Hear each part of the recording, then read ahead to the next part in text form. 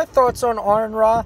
I think he's a cool guy. Yes, he may be an atheist, but still, he's still a cool guy. I like how he talks about the science of evolution and stuff, and also I liked how he talked about um, lots of videos about Kent Hovind and how Kent, yeah, how Kent made fun of Aron, and Aron actually came back at Kent and stuff, and it's actually very interesting videos that you know that Aron Ra proves, I mean, proved out.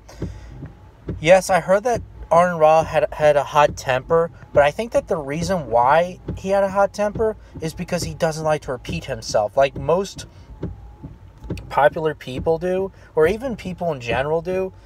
People don't like to repeat themselves over and over and over and over and over again. I understand that. But and it's not just him. It's like I said, it's just a lot of people in general.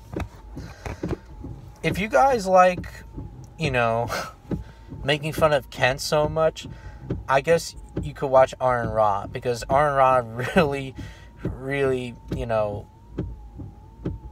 really proves that you know that Kent Hovind's not really much of a scientist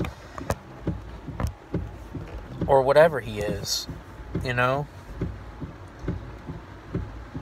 And yes, Aron Ra said that, you know, birds are dinosaurs.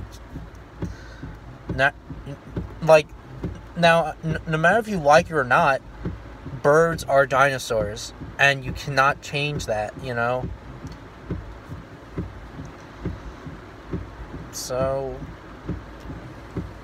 yeah.